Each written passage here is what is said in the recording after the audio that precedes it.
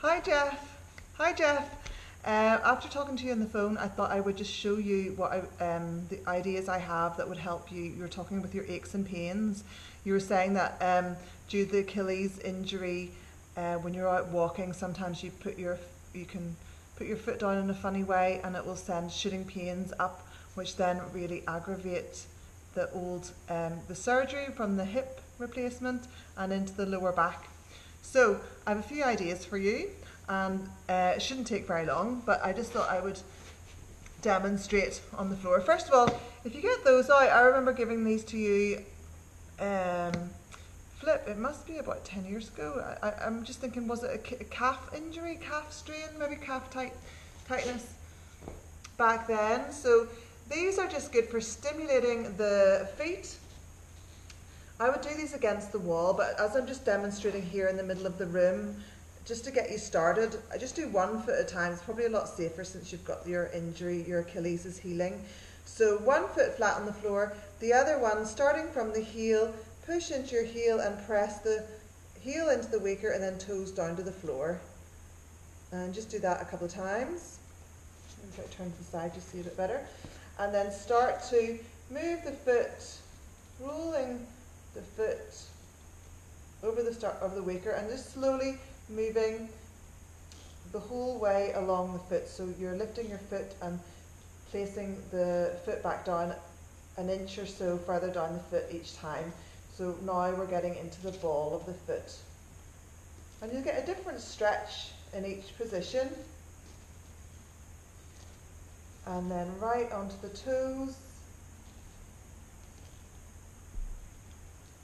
Now, just being mindful um, which with the be fine on, on the good side, the side where the injury is the Achilles, just um, making sure you're not going to aggravate the injury. The, all of this, though, I think will, will work with the exercises you've been given.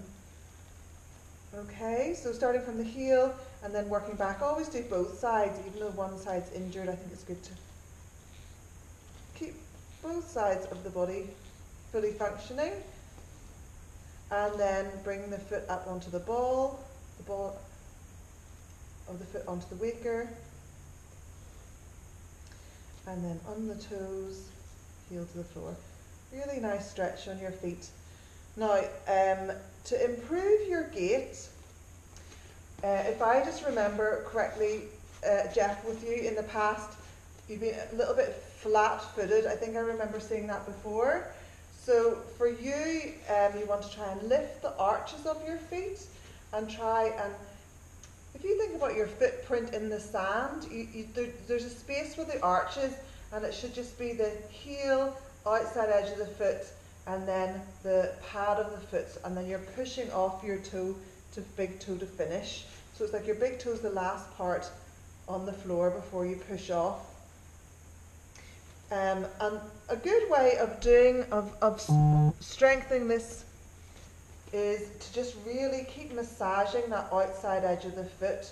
So I would use this maybe with a tennis ball, exact same thing that you just did uh, with the waker, but you can you, you can use a tennis ball or a squash ball or a, a golf ball and work your whole way back along to the big toe. I would do that a few times this just really starts to strengthen up outside edge of the foot. Whenever you're walking, it makes you more aware of putting your foot down there. I would even turn the sole of the foot in if this is okay on your Achilles and just roll the outside edge of the foot. That'd be easier to see on the other side.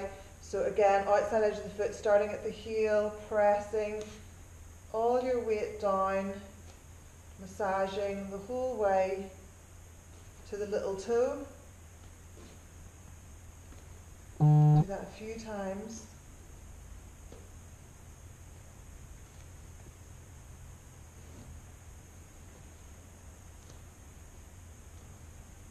And then I was saying that you could um, turn, whoops, the sole of the foot in, turning the sole of the foot in and just rolling up and down the outside edge like that.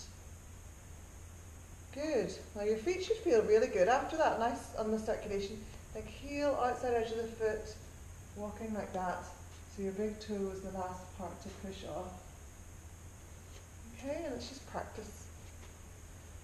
Um, so then you were saying with the pain coming into the into the hip itself. So I would use a, a football. You could use anything from a football's quite big. I would probably use this green size is the perfect size, I find. If you've got a ball like that at home. And um, so you're sitting on the ball and just doing some circles, circling into the into the into the buttock really, you know, that that's what you're aiming for. I would just do big circles.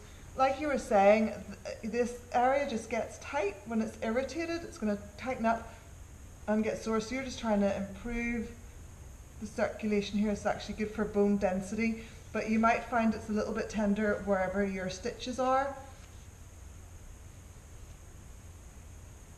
Anyway, feel free to roll around on that for as long as you like. It's really good at listening everything up.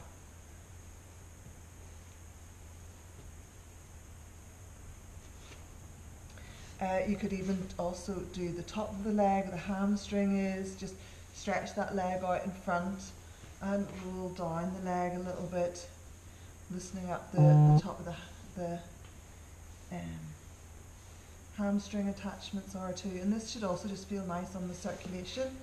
Right back up into the glutes, circling around the glute. You could come onto the side, you know, it could also, um, it might be the IT band that's getting tight as well. And you can, when you're lying on your side, if you're using the mat, you want to have your body um, parallel with the outside edge, and then you're, sorry, you're, you're creeping in that direction.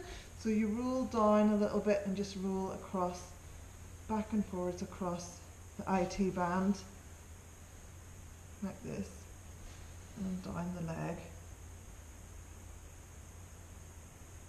So you could try that on both sides. So get the ball circling, oh, oh, circling into the buttock area, the glutes, big circles.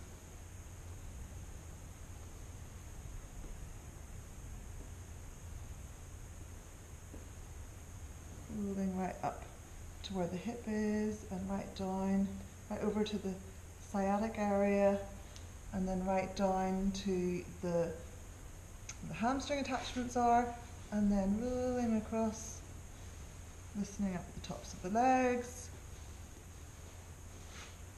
Should feel really nice on the legs. It's like a massage, deep tissue massage that you can do yourself at home.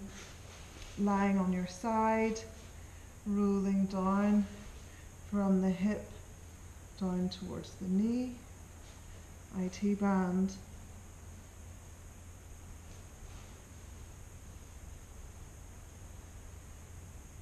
You always find a few tight spots along there. And then lower back, I'll, just use this ball so you can see a little bit better, but you could just hold the ball here and press back into it. So I've got the ball on my right side, this, I've got the sacrum, and then the ball is on the right side of that, so into the lower back on the right side. I'm not sure which side it is your injury is on, or your, your hip replacement was. So this might help just pressing in here and releasing and it's also a little bit of core, gentle core work. And I would do both sides just to balance everything out. And then right into the middle of the lower back. There you go. So if you, I could go on and on. There's lots of, of nice things. You can go from here. You can roll up the whole of the back. You can do nice core work on your stomach. But that's something to get you started. So you could try those and then let me know um, how you get on with that. So anyway, hope that helps. Thank you.